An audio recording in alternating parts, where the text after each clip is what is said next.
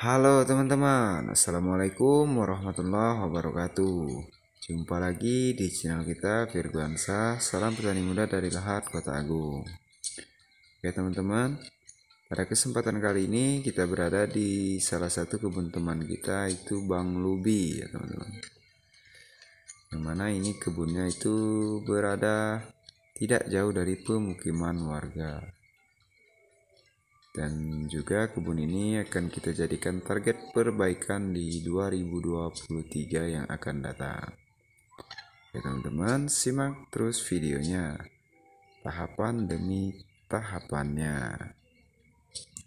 Oke, langsung kita review keseluruhannya dulu ya teman-teman. Tuan di sini adalah salah satu tunas air. Sambung tunas air teman-teman. Yang mana Sistem penyambungannya seperti ini itu kita menggunakan entres tunas air. Oke. Kemudian di sini sudah ada kopi stekannya. Namun kita lihat kopi lokalnya pun masih ada semua ini.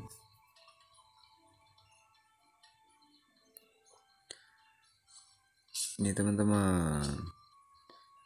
Jadi Bang Lobi ini melakukan penyambungan ini sudah sekitar dua tahun yang lalu ya teman-teman.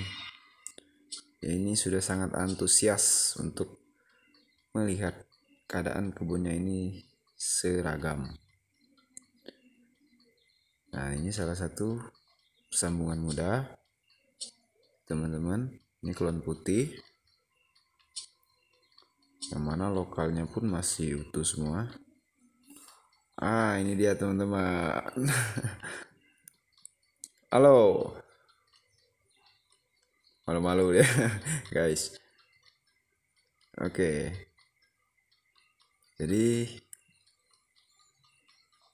kesempatan kali ini kita ingin mencoba menargetkan atau perbaikan di 2023 ini untuk kebun ini ya teman-teman.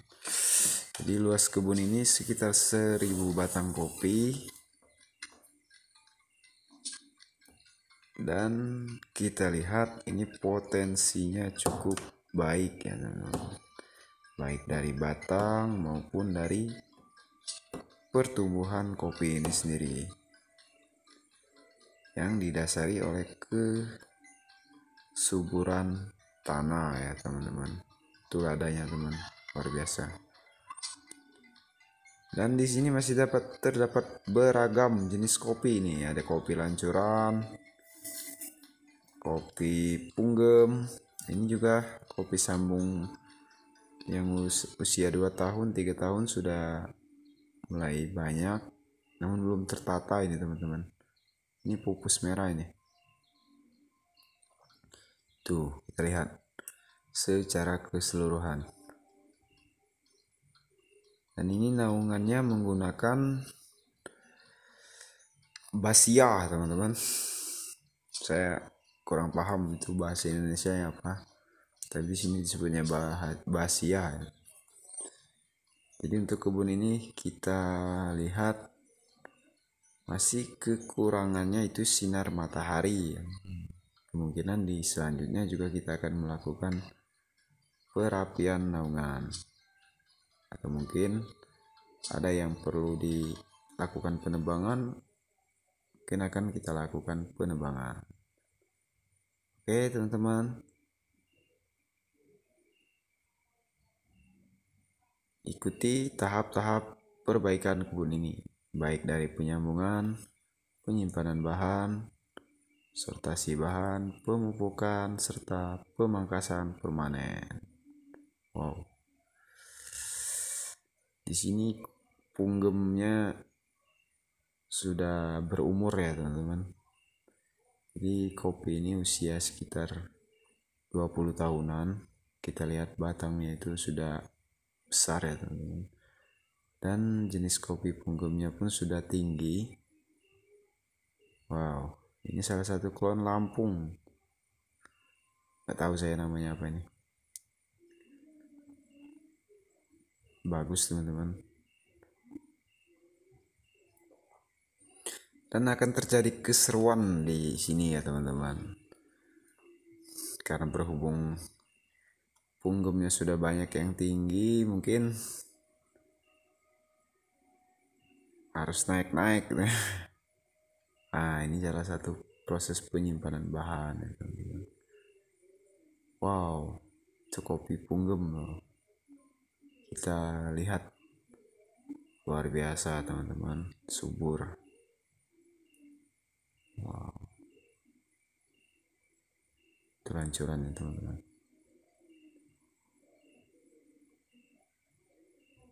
Jadi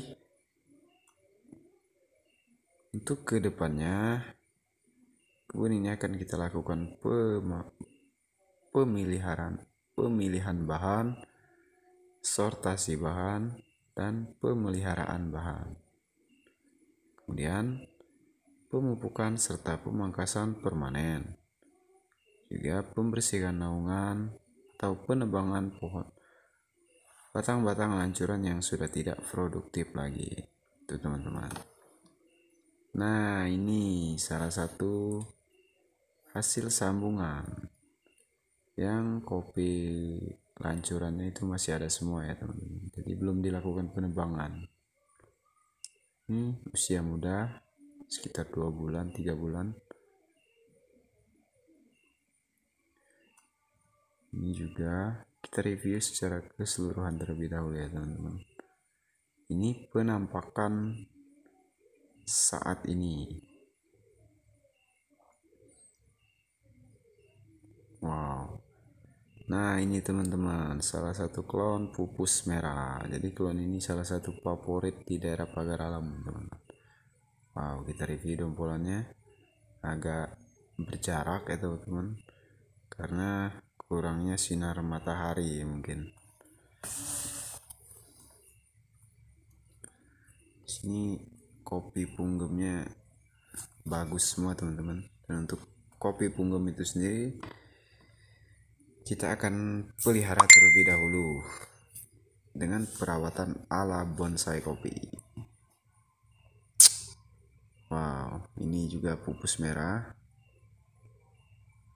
Oke teman-teman ikuti terus video kami. Jangan lupa like komen dan subscribe nya nantikan perkembangan dari kebun ini. Dan